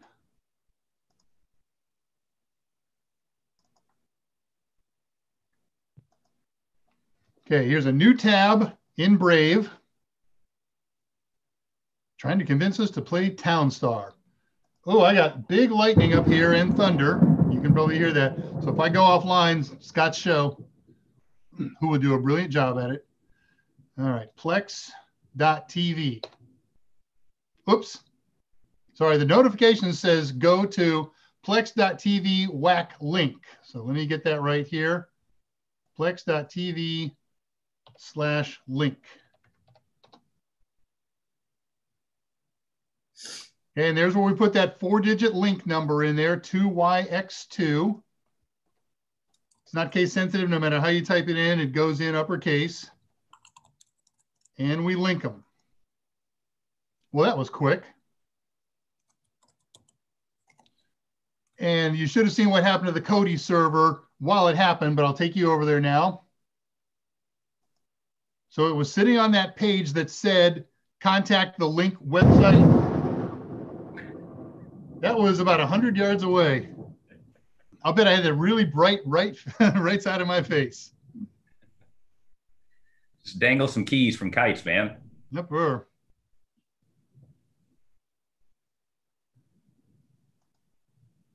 Okay, this is the Kodi server. So now when you click on uh, click on XTV, uh, I'm sorry, on Plex TV in your video add-ons, you can go home and that'll take you to the home folders of Plex or any of the repositories that you have set up. There's the home folder.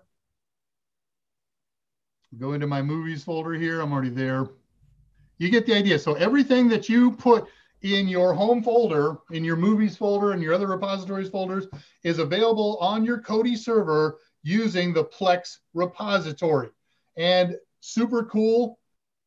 I got my Plex server running at home. I'm at the office at lunch hour and I want to watch something that I saved in the repository on my home machine. Since the add-on connects to the Plex server central and it in turn connects real time through my home machine. I don't have to do port forward or anything like that. He'll suck the, uh, the contents of my repositories out of my home machine and route them to wherever I'm playing Kodi. So that's the other really awesome benefit of it. You got a nice repository of movies, uh, someplace at home or wherever, any place else you want to run. Now you can do this any place else you could run Plex from just as well. But again, since Kodi is usually the better media server because all of its other great content, you saw that stuff I had. Let me get out of this thing and, and we'll take a look at that.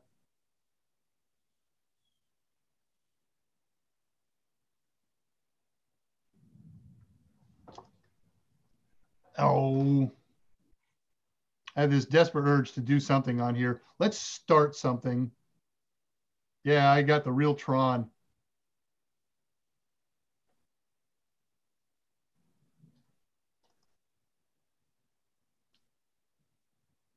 So I have the option of setting up audio or subtitles. Since we can't carry audio over here, no point. And again, I expect this to be jumpy because A, it's coming from a 3B, and B, it's coming across uh, the, the VNC. Yeah, anytime, that's the image. Oh, that's it, this is stock footage. So there's nothing moving on here. that makes it a lot less exciting. Yeah, it does. All right, let's start a couple of seconds of big buck bunny.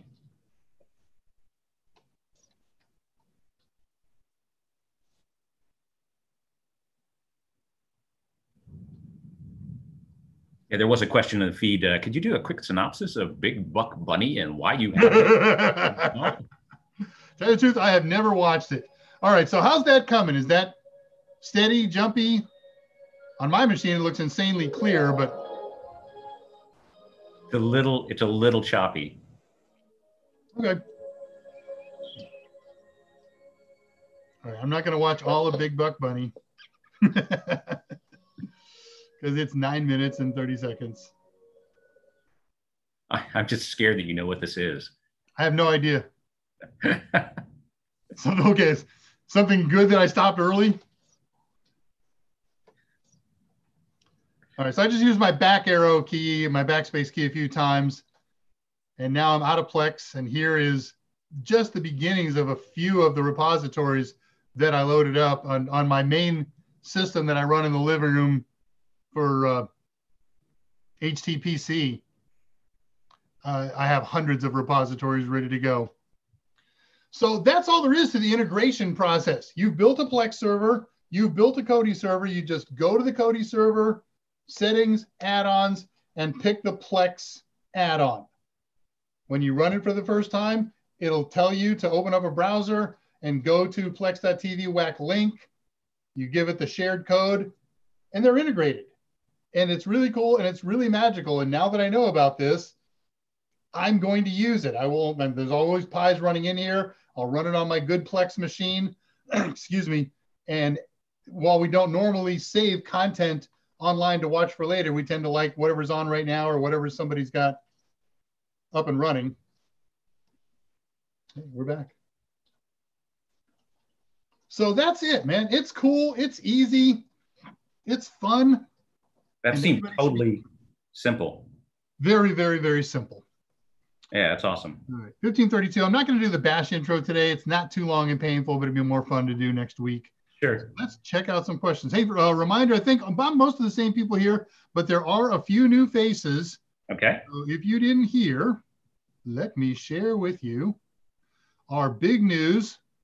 We contacted the founder of Raspberry Pi Foundation, current, currently runs it with his wife and a staff of not many. They're, they're a very small, lean organization, but he's agreed to join us on Friday, September 25th.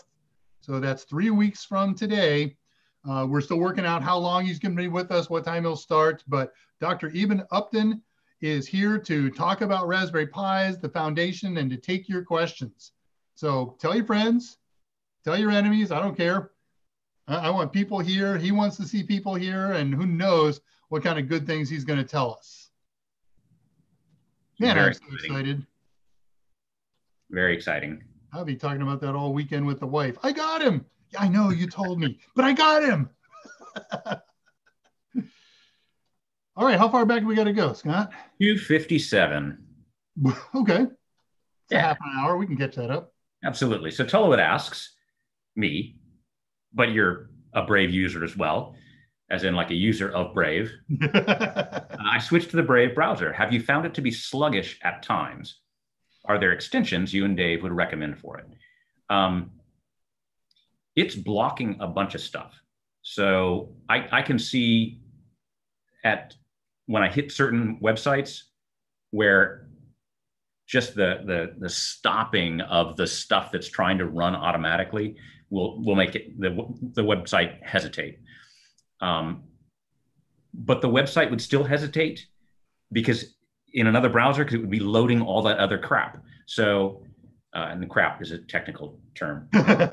Um, I don't use many extensions um, that aren't just built in. Dave, do you have?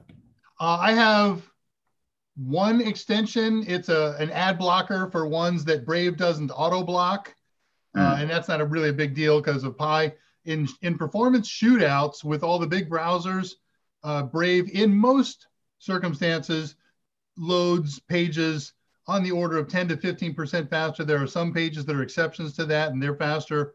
But by and large, because even though there's a, a hiccup and a pause because it stops for an ad that it's not going to load, by virtue of the fact that it doesn't load that ad, and some of them can be voluminous, uh, it still loads much faster. Right. In my experience. So Don't here's the taste of coriander. I'm sorry. Go ahead. At 258. Yeah, I skipped a question because elbow looked good, but go ahead. Uh, oh, he already answered it. Nope, nope. Fire away. It, it okay, so Kevin, what's the max gigabytes? I assume he meant mm-hmm. um, micro SSD that you can use on the Pi. A lot of kits have 32 gigabyte drives. Uh, it's the limit of ext4, which is bigger than any hard drive they have ever made or expect to make in the next 20 some odd years. So, however big a drive you can get your mutts on, mitts on, mangles on, uh, it'll work. Really? Yeah. I thought there was like a, I thought there was like a 128 gigabyte limit or. No, the 128 gigabyte limit is the micro SD card. I was looking at his SSD. Oh, micro SSD. Okay, so we're mixing terms here. So yeah, the I, micro SD card tops out at 128 gigs at the moment, and that's probably firmware updatable, but the world waits. But okay. yeah, if you want to attach an external SSD or hard drive, you will never hit the limit. Okay, so two different things, but yeah, all right, excellent. Yeah, they got conflated. Elbow, I don't love the taste of coriander. They they went off on this. I'm not. I'm not sure who started with the uh, uh, the food, but there are tons of. I'm going to slide past most of it then. Well, it's it's uh, yeah, of course. Uh, but at 302, my Cracker Jacks comment came back to haunt me with elbow saying, Hacker Jacks is where you get the pies, Scott. what? Tullowit didn't send that one? I know, right? Man, you guys are hanging together too much. Right, coriander seeds are just cilantro seeds. All right. Hey, Simon Edling is here. Greetings, Simon. Thank you for coming in. All right, I'm just going to ignore everything where somebody responded to somebody else because we got a lot of catching up to do, and I'll assume that you're uh, there's yeah, a one, one on uh, commented on your uh, choice of I've never gone to this site before. I'm just going to go here. It's like I know this. I would have unshared so fast. I had my my mouse hovering over unshare. Sometimes what has been seen cannot be unseen, Dave. you know, I probably should have watched Big Buck Bunny before I ever got started. I've heard about it for a long time as a title, but I don't actually know what's in it. So it's animated. It couldn't be dirty, could it? Because no one's ever made that's right dirty animated movies before. John Lehman at 304. I did hear Eben do a chat about Pi, and he mentioned that they do a lot of work concentrated on the dollars and cents. Sure, they want to keep it cheap because of uh, a lot of their rationale. I'm not going to explain it any better than he will. Their buying power, right? They they they make their own. They contract make their own. And remember, we got multiple models in production in England and in Asia, and I'm not sure where else. Uh, but yeah, they they work very hard to keep the price down.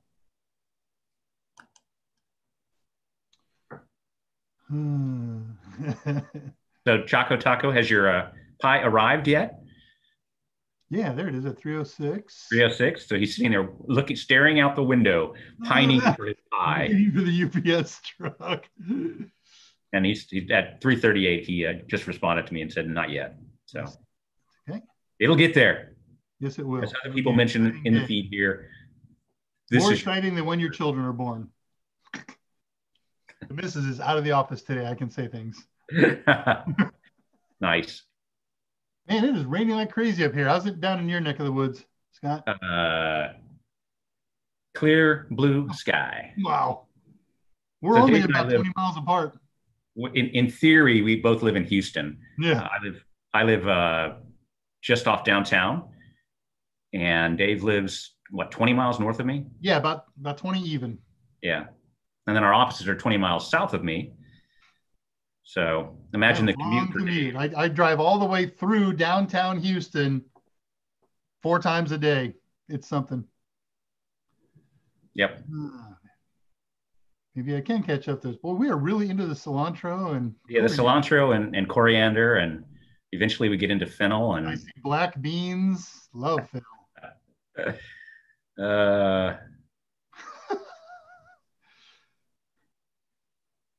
uh okay, so at 310, Kevin Lopez missed the Wireshark live stream. So yeah, we've done a bunch of Wireshark labs. I've done one almost every week since we started. And right. three weeks ago, we did a Wireshark installation, which is a really, really, really easy thing to do. Um, it's one step. If you want to launch it from the command line, you don't have to do anything.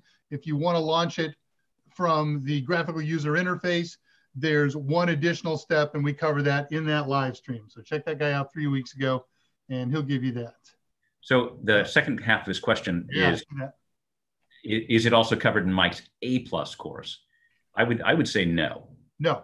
That it's definitely in his Network Plus course because that's where we really get into packet sniffing and and uh, network scanning and all that stuff. So Right. Yeah, but it's definitely in his his Network Plus course. I've never seen in any of the courses in any of the video courses, he doesn't go through how to install it, but he does go how to use it, and he talks about popular filters and things like that. But installing it on a Windows machine is pretty much a one-click event, just like installing any other application right. that you ever installed. Right.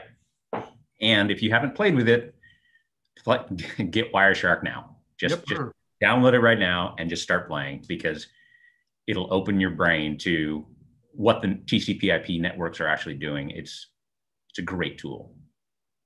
Uh, I have to see what Alice said. Oh, Alice Alice is into coriander. no, she doesn't like it. I think that's a sad face. Yes. And then Tullowit a couple lines later, say it isn't so. Shame on yep. you. Yeah, yeah. I'm, I'm one of those. Has no one mentioned Rosemary yet? As long as we're going to do that, that'll 40 comments coming up on Rosemary. I just set that up. okay, I've caught up to Elbow's 18 wheeler thought. Okay. 311 Tullowit, uh, passing 312 now. Morning Saint. I like pogo sticks. No soldering is great. I do too. Um, what's the right name for those? It's not pogo. Uh, there are uh, little pins that you can use to install into uh, the holes on circuit boards. Uh, and they come in two flavors. One is you stick it up to the bottom and you solder it. And the other one is these pogo pins that have these little spring mounts that you can push in and they'll grip onto the solder circles on either side of the hole. Not surprisingly, they're a little pricey compared to soldering a, a pin that costs a penny or two. Uh, these things can run upwards of 60 cents to a buck. Yeah, they're, they're good. They're not perfect. Soldering is perfect. It's always a good connection when you solder it right, and you never have to worry about it later. Pogo pins do wiggle and sometimes lose connection. One of Dave's uh, previous lives was as an electrical engineer. So just yeah, that's my you know. formal training. One of his many. Tullowit says, now I made him scroll back. and he did. I did. Choco Taco, legal things. If, if that's a response to somebody else, cool. If it's not, can you fill that out? I will fill it out for you. While you were talking about that, you had spent all week preparing for this, uh, the the Plex yeah. uh, Kodi integration. That you were busily downloading legal things from legal places. Absolutely. So, yeah. Uh, in fact, I found an amazingly cool place for those of you into movies and videos. Let me pull this uh, page up real quick. Man, I got a lot of hairy stuff going on. Looking, looking, stand by. I'll find it very quickly. Standing. Standing. So yeah, I go ahead and take over for a second. It's taking me a minute to find. But just more food questions. The fennel or Finuccio or Finuch in Jersey. Tullowit was a was a restaurant chef, so that's uh, all these food things. Oh, it's got more weird background than I do. Kudos to him. Between the army and other jobs and his chef, I remember, yeah, talking about chef in early days. So Greg Davis at 315 asks about the Plex free version versus the paid version, okay. and what are the advantages of the paid version? Do you have that off the top? Yeah, if you remember the answer, go ahead and take it. And if not, I will do it. Uh, it's publicdomainmovies.com. Cool place. publicdomainmovies.com. Yeah. Um, and before I answer Greg's question, let me uh, mention something about that. Uh, when I was over in Saudi, uh, took a while to you know kind of meet some folks and, and find social outlets and things like that. So I bought off of some website uh, a big collection of movie genres that I love, uh, old B black and white horror movies and things like that. Uh, and I found that they were everywhere. And it turns out, having looked at this, and, and perhaps I learned a little earlier, is there's a whole bunch of those old great horror movies and zillions of other movies from the 20s through the 50s that have moved into the public domain. So people take them and they package them and they sell them on a DVD or a Blu-ray or whatever. But you know, what a great site to get your own. How fun. Okay, uh, premium plex versus non-premium plex. Only one difference, uh, okay. and that is premium has a streaming audio service, so they got to pay all the the streaming sources and things like that. So you wind up paying for that. Other than that, they're the identical product. Sorry, I got to get my page back up to find everybody. There we go. What was the time stamp on that? Uh, three fifteen. Okay and apparently we have the public domain movies URL incorrect. Well, that wouldn't be my first time. I was doing it by memory and going with a 99% chance that I was right. It, it's weird. I had the, doesn't matter. Somebody Google it, you'll find it.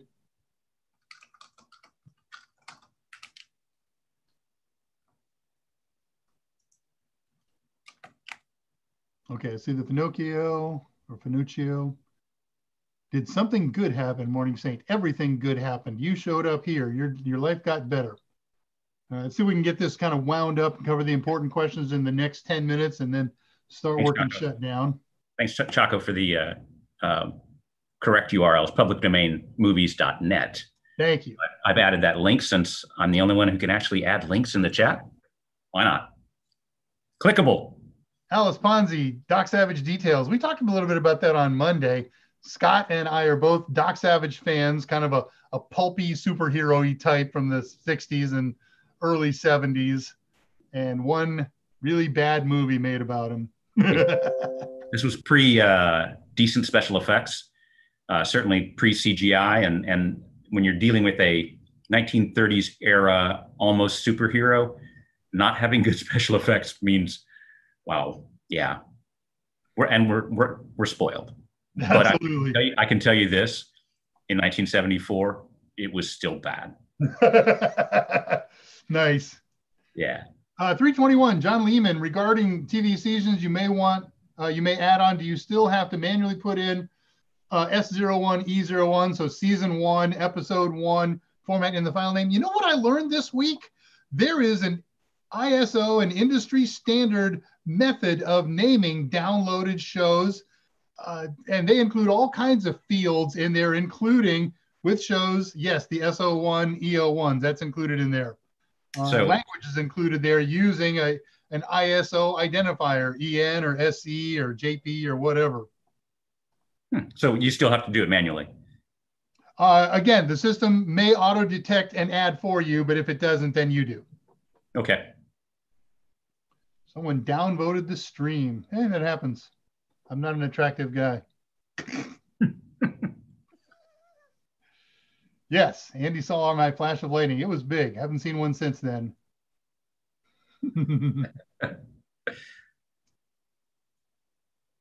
reading, reading. I'm passing through right, right. nine. The picture of Ice Cream Man is creepy. Yes, it really is creepy. So I, that was one of the first movies that I just said, if there's a movie I can download uh, it was an indie film, and I looked at it for a couple of minutes, and it looks creepy. oh, hey, see, I thought nice the, to uh, see, buddy. Van Halen Thank video. You for the nice compliment. I thought it was the Van Halen video. and nobody's mentioned Clapton and Winwood. So. No, I'm, i was going to ask you. Tell us about your T-shirt, man. Clapton and Winwood, really, really, really, really good show. But then I almost don't go to shows that aren't. I think I've been that before. It's not bad if I remember. Okay. And I'm constructed entirely out of pies. Well, there was a time when I could have been accused of being constructed entirely out of pie, but I'm being good. Passing uh, 335. 335. Exabytes. Well into the exabytes for EXT4. Somebody look that up. Max. Right. So Max, the uh, uh had a question on at 334, just before the exabyte comment, yep. about roll 20 in Brave. Are you familiar with that? I'm not. Neither am I. So I can't answer you. Okay. Okay. Saving the comment for research. Right.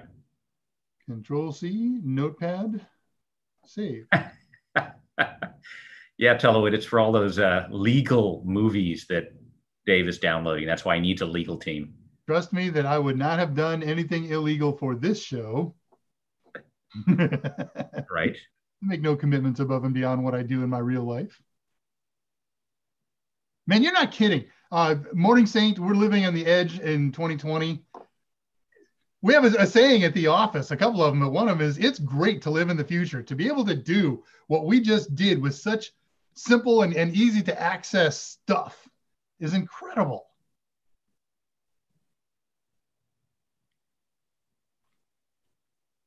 So we're uh, we're just kind of cruising through the questions. So I'm kind of skipping over the uh, uh, all of the food comments. Greg, 342. I'll, I'll add to that. Uh, okay. Greg has rosemary trees in his backyard. I have a neighbor who has a humongous rosemary bush, and they hate rosemary and beg us come over and peel the rosemary. Wow. I'm there all the time. Kevin Lopez. Oh wow, you uh you hit on something really interesting and good here.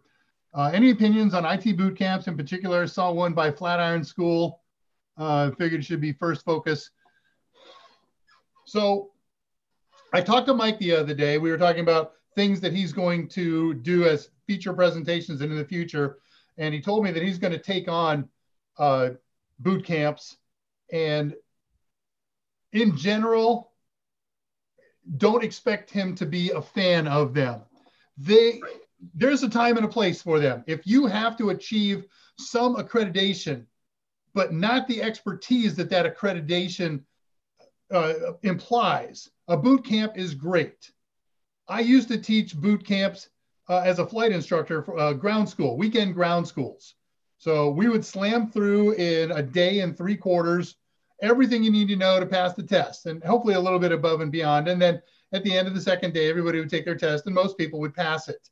But it was always kind of our experience that anything you can learn in a day and a half, you can forget in a day and a half. And so they were useless and, and hopeless when it came to applying or remembering that information when we put them in airplanes. And boot camps are often the same way. Yeah, and what what we've uh, got experience from several people who uh, have done these uh, tech or IT certification boot camps, and they tend to be wildly expensive, like many many thousands of dollars, with no guarantee of jobs. So it sounds it sounds to me more like a more like a scam than something good. You'd be probably better off buying some equipment yourself and just studying on your own, uh, getting Mike's videos, um, you know. But yeah, it's not like I haven't taught a lot of boot camps, but right, we've done some and we've had successful people, but our audiences are kind of specifically created for these boot camps. They're they're type A super studiers, monster people who want and need to learn the stuff. So at 340, John Lehman has a question, question that we skipped. Um, yeah, being that. techie men, like army men, only we're techie men. That's right. Uh, what are some reputable names in the field of consumer routers? Cisco, who no longer makes routers, but even their used ones are good. Asus makes very good routers these days. TrendNet, uh, Linksys, of course. Those are the ones come to my by, mind. Which is owned by Cisco. Yeah, well, yeah, uh, not anymore. Really? They split yeah. off? Yeah, yeah, they were spun off. I think they actually own, get ready to, to put the rope around uh, Buffalo. Yeah, I know. Wow. All right, we got about one more minute for questions. Oh, wow. Okay, it's already, good Lord, man. Yeah, it's 54. Time flies, huh? Yep. So let's see if we can find one or two good ones. Almost They're all 11. good. Let's see if we can find food time is okay. I, I agree. Food time is it ever really over? uh, uh, oh, it's fun. Oh, good. Okay, I'm almost at the end here. ext support ext4 supports two exabytes per elbows research, if or his memory. Okay. Yeah, I mean it's just it's monstrous. It, it's not doesn't have all the benefits of NTFS, but when it comes to capacity, rawr. So um, you just learned that yesterday. Cool. Good. There's there's one one question popped. Uh, where was it? I already missed it.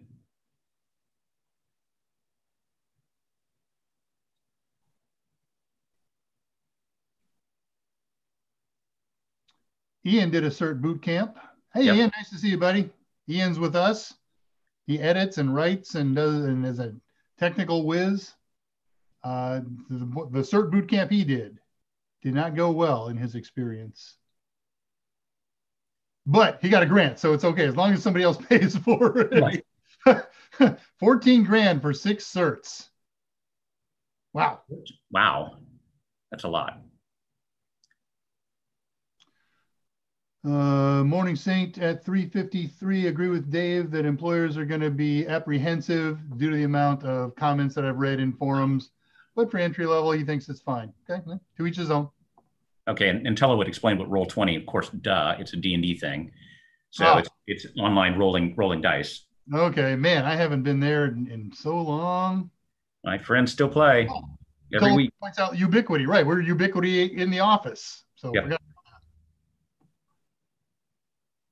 Hey, I made it to the end of the questions, uh, scribbling them all down from John Lehman. So cool. It's 56. Let's do a little wind up here. A reminder next week, I'm going to do basic bash shells.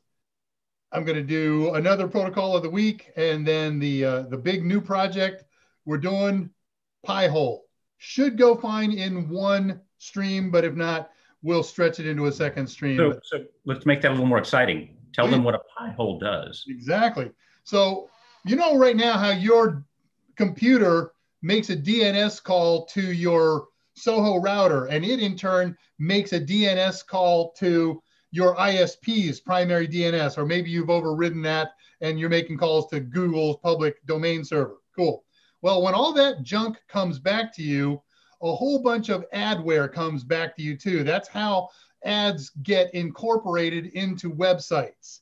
So what Pi-hole does is it becomes your new primary DNS server. You'll contact it. So it's going to add an extra step, but it's fast. You'll never feel it. It will contact the same stuff in same order. And when the response comes back, Pi-hole filters out many, many, many of the ads that are incorporated into websites. It, it just, it's fast, it's unbelievable. As I said, you can't feel it. And what you have to do is once you've got it set up and running, you go to each of the computers in your house and or your office and you change the primary DNS server from your Soho router to the IP address of the Pi-hole. Simon citing or somebody citing. No, that sounds awesome, Dave. I'm totally looking forward to Friday. Yeah, I think Scott, uh, Mike is planning on checking in, and if he doesn't get to it, I'm just going to make him a micro SD card, and he can plug it into his machine and just make two changes. Sounds great. All right. So remember, uh, we got specials on the super bundles for A Plus and Net Plus, 50% off. For Sec Plus on the bundle, that's uh, Total Tester and the videos. Use the checkout code MM Live 831. That was the date on Monday. Good for two more days. Check in with Scott or I at scottj at totalsem.com, Dave R at totalsem.com. Hey, I covered all the ground. I think we have. So, yeah, thank you all so much for playing. And thanks, Dave, for having some good presentations and showing us the combined awesomeness of Kodi and Plex. Likewise, can't wait to do Kali now. Now that somebody's reminded me of that, uh, that doesn't have to be too far in the future because it's just a software install, so we can have a ton of fun with that. That sounds great. We still sounds got great. one more minute. Yay! Case sensitive. Everything is case sensitive in Linux. Morning Saint. this, this uh, thank you all for coming. Thanks to Mike for allowing us to to use this time period for you every Friday. If you've got a holiday this weekend, please enjoy it safely. Have three days, and for the rest of you who are working Monday, you know, come to America. We get this Monday. I didn't say it out loud, did I? no, I'm coming. I'm back. I'm going to Europe with 10 weeks of vacation, man. This two weeks is I- but with no place to go. 10 weeks of sitting at the house. And when you're normally sitting at the house, maybe not that big of a deal. Hey, we're on the hour. Let's ask Oh. Michael to pull the big plug on us, and we Okay. will see you Monday for the regular AMA with Mike. All right. Sounds great. Bye. Good night.